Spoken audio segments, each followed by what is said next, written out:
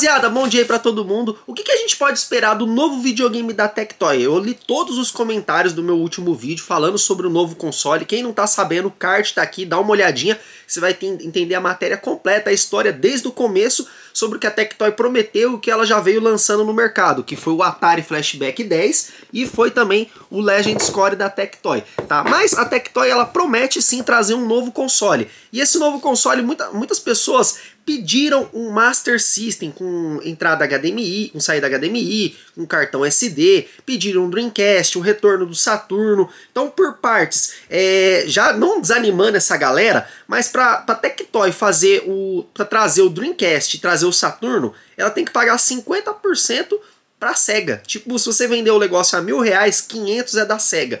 Isso não é legal, porque, primeiro, é, Dreamcast e Saturno são um público limitado, tá? É, Master System já tem um na praça. Será que trazer um novo Master System de novo vai, vai suprir a necessidade, a, a, a, o lucro, a renda da empresa? Acredito que não. Trazer um Mega Drive Mini, como muitos é, citaram, ah, por que, que ela não traz o Mega Drive Mini? Cara, o novo Mega Drive de 2017, tecnicamente ele é melhor que o Mega Drive Mini. Tem entrada para cartão SD, dá para você colocar um milhão de jogo. O Neto corrigiu é, o áudio, a imagem, tudo, o caramba 4, né? E o Mega Drive Mini não, ele só tem uns 40 jogos lá e fica por isso mesmo.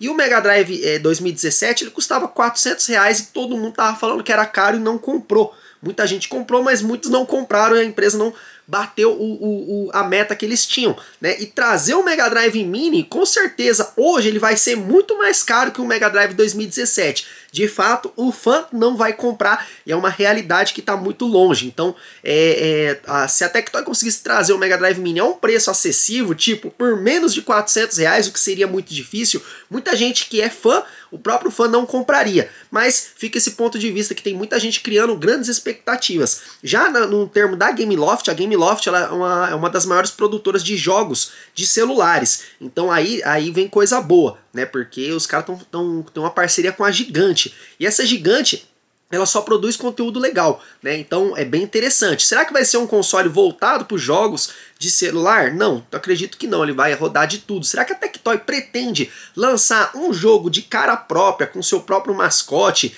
né? Algum símbolo da empresa, né? Não apenas só o Tectoy, né? Mas é, é, é, é algo de se pensar, não sabemos ainda, por isso que eu pedi para o senhor Valdemir Rodrigues vir a público explicar, né? É, falar um pouquinho mais sobre a, a ideia é, desse novo console. E vale ressaltar que a gente está num ano de, de pós-pandemia, de guerra, de infração alta, né? E vários é, componentes ficaram muito, mas muito caro no mercado brasileiro. Então, é, é, é, é possa ser que a Tectoy não lance esse ano né? Até então ela não deu nenhuma pista, ela fechou várias lojas, é, fechou lojas, fez demissões em massa, né? E isso aí porque a empresa tem que se reestruturar, né? Agora, se tudo isso aí estivesse andando de boas, né, eu acredito que eles até adiariam o lançamento é, desse novo console para o, o, aniversário de 35 anos da empresa, né? Mas esse é o meu ponto de vista aí, né? Só esclarecendo algumas realidades para o pessoal que está criando muita expectativa. Agora eu quero saber da sua opinião. Deixa no comentário. 7 horas da noite tem vídeo no canal do colecionador. Fui!